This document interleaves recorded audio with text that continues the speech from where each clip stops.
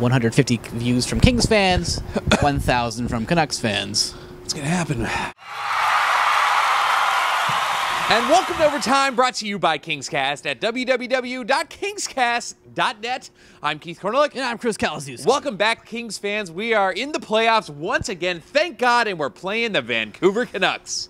That's right, Kings fans. We're back. Uh, we're back here to talk about the first game uh, in the Vancouver LA series. Uh, looking pretty good so far. Also, going to introduce ourselves to Vancouver fans who might be tuning in, and we'll also uh, talk about uh, what we can expect uh, during the playoffs. So here we go, and a special welcome to British Columbia TV. Thanks for letting us know we were on your show two years ago. Let's do this. All right, so if you're just joining us, a special welcome to Vancouver Canucks fans. And uh, unlike a lot of other, you know, vlogs on the internet, uh, you know, we have a lot of respect for the Vancouver Canucks, Chris. Yeah, we do. You know, we respect the team. Obviously, back in 2010, we did a full series uh, against the, you know the Canucks. Then and we were very respectable. You know, I thought we sort of called it if the they did a good job and everything. So we're back again to do that again because that's just who we are. There we go. We had pre- uh, I had initially said Canucks in five. I was a little bit pissed off, maybe a little drunk at the time. I'm now saying Canucks in six. Chris also said Canucks in six. Uh, but if you're just joining us, there's a couple of things we want you to know about us. Number one is that we're not going to refer to the Sedins as the sisters. You know, because bottom line is, if I had a twin brother uh, playing in the National Hockey League and we were getting nominated for Hart trophies, you know, every year, every other year, and the only sacrifice that I had to make was that I had red hair, well, god damn it, I'm gonna do it. Uh, number two, Canucks fans, is we're not going to say things like, you know, Van Loser, things like that. We're so above that. You know, we're Kings cast. Watch our old shows. Because, uh, and also, you know, Keith is Canadian. We're very, you know, sensitive and respectful of that. And the final reason why we should welcome you to the show is we're not going to say things like suck it, Canucks. Well, we actually might. If we win a game or, you know, we win the series, we're going to say it. That said, after game one, suck it, Canucks! All right, Keith. So coming into the game tonight in Vancouver, uh, you know, we talk about this series. You know, everyone, you know, was talking about the Vancouver Canucks like they're the best team that's ever played hockey before, and the Kings would have zero chance. They'll probably get swept. You know, we didn't even go that far here at Kings. No. We, are a little more realistic, I think, than most Kings fans. Uh, but you know, uh, and the Kings have had some issues coming in the last couple games into the regular season. You know, they did things that they haven't done all year, which is take you know a bunch of bad penalties, blow leads, and take you know and, and give up goals on the PK. And this was an issue going into game one. So going into game one tonight, we're hoping that they got those sort of jitters out of their system. They made the playoffs. You know, the pressure to me is all on Vancouver. Well, bad news for Vancouver is that Daniel Sedin is out, uh, obviously with a concussion. They thought he might come back for game one.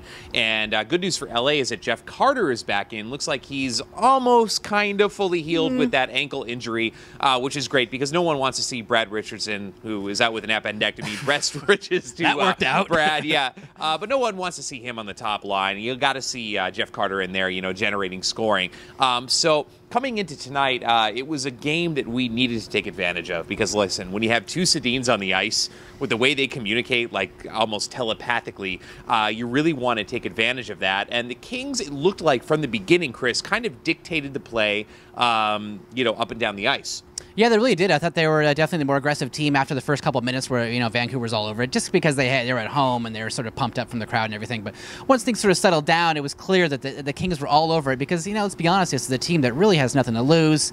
You know they have everything to gain from you know taking a game like this, and, and I was happy with the first period. You know, Canucks of course score you know a goal from Burrows in the first five minutes of the game, and it was sort of an iffy goal. You know, it wasn't. I can't really blame anyone. You know, Daddy was sort of in the way. I mean, I was you know, Quick just gave up a goal. What are you gonna do?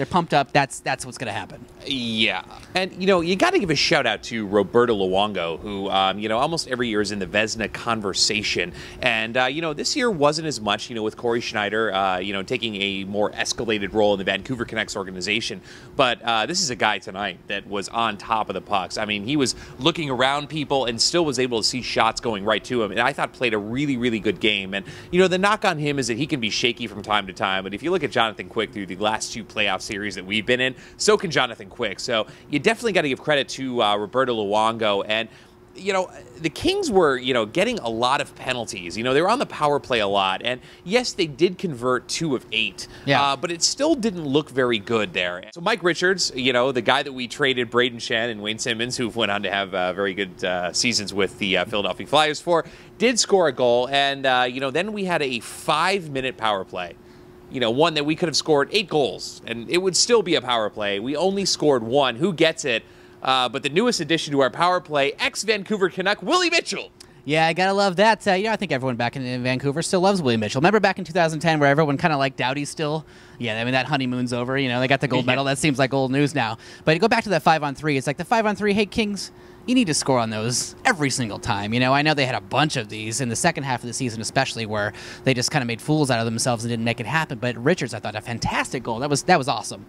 Yeah, and you know, I tweeted this out earlier on Twitter tonight. If Jamie Kompon is still the power play coach going into next season, I quit.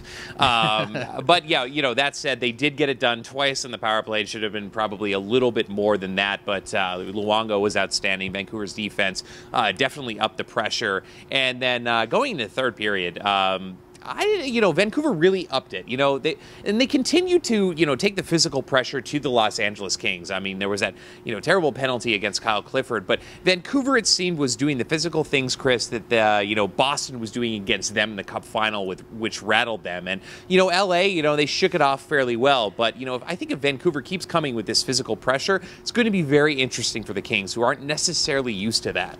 No, definitely. You know, that third period was huge. I mean, I think we were kind of joking about it. They were like, I see uh, overtime, triple overtime all over this game. Uh, uh, bad for the show. It kind of, yeah, yeah. definitely bad for the show. But, uh, you know, it seemed like the Kings were, were really kind of resisting that, uh, that huge surge that Vancouver got because they kind of, I think they got over the fact that you know, they're the number one seed. They won the President's Trophy. They're at home. You know, they kind of settled down a lot, and it was kind of looking worrisome because you can tell. Uh, you can say we've seen a lot of games with the Kings. You can just tell when a when opposing goal is just setting up, and there were a lot of those chances. And I think Quick, more than anyone, really settled down after that second goal to end the second, and uh, he played like the guy that we think should win the Vezina.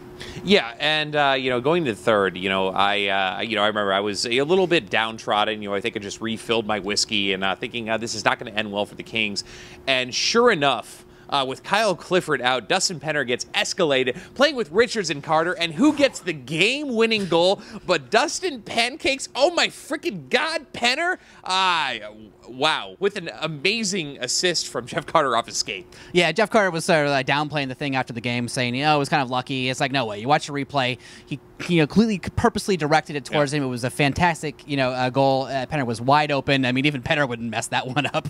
Uh, so, you know, setting the crowd into a silence you know, this is always great. You know, they obviously they won the game later. Dustin Brown with an empty netter to seal the deal. Crowd was already you know exiting at that point, but you get a game like this. Anytime an eight beats a one, it's huge. I don't care if it's game one or or any time the game of the series. You know, this is a highly touted team. They it was one game away from winning the Stanley Cup this year, so this is a fantastic win for the Kings.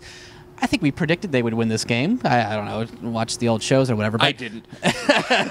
yeah, so there we go. Uh, 1 0 for the Kings. We got game two in Vancouver.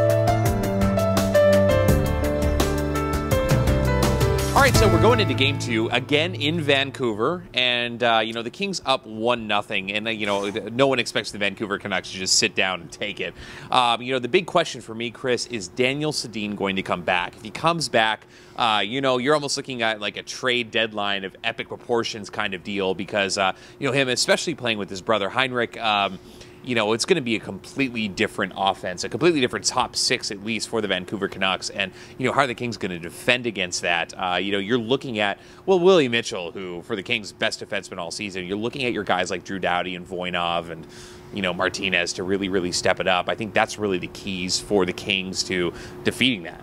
Yeah, definitely going into game two, looking for a lot, a little more intensity from the Kings. I know they had their moments, but uh, Vancouver definitely laying it out on the ice. Of course, they took a lot more penalties, but you know, I'm looking for the defensemen to be a little more involved. You know, uh, Doughty had an okay game, Voinov had an okay game. You know, Green you know, got his helmet knocked off twice. I don't know if he doesn't know how to you know, adjust it, you know, get it I think there. it's for show. It might be for Maybe, show. It looks yeah. so cool when it's yeah, it does. Off, especially when you're taking a, a, cool still with you know, an awesome camera. But uh, you know, I'm looking for another super competitive game. And let's be honest about this game, another game where the pressure is all on Vancouver because coming back, to, you know, into Staples in Game Three, and I know when they melted down last year against the Sharks in Game Three, they're going to be rocking at Staples Center. So got to win this game for Vancouver. So. No, you definitely do. And I'm looking at a guy like an Alex Burrows also, you know, to really, really step it up. Ryan Kesler as well, you know, has not looked as good as he did, you know, uh, a couple of seasons ago. I mean, I picked him first. I think ninth overall in my uh, fantasy draft uh, this year, and it was a little disappointing for me. So you're looking at guys like that to step up, a Burrows to maybe get under the skin of the Kings. With Kyle Clifford out, you're missing that uh, physical presence, and God help me, I hope Darryl Sutter doesn't put in Kevin Westgarth. you know, Kings fans, Vancouver Canucks fans, your question of the day is who's going to step it up for either of our teams? Leave your comments as always downstairs. All right, Kings fans, so we'll be back on Friday, and that sound you hear is uh, Vancouver fans crapping their pants. They're scared. All right, now we'll be back with full coverage with another sweet show, breaking it down. I'm Chris Kaliszewski. And don't forget to click that subscribe button right up top. Kings fans, Canuck fans, uh, we'll, we'll get a show out every game for you up until the Kings win the Stanley Cup. no, they won't. I'm Keith Korneluk. He's Chris Kaliszewski. Thank you for watching Overtime. Bye, Kingscast.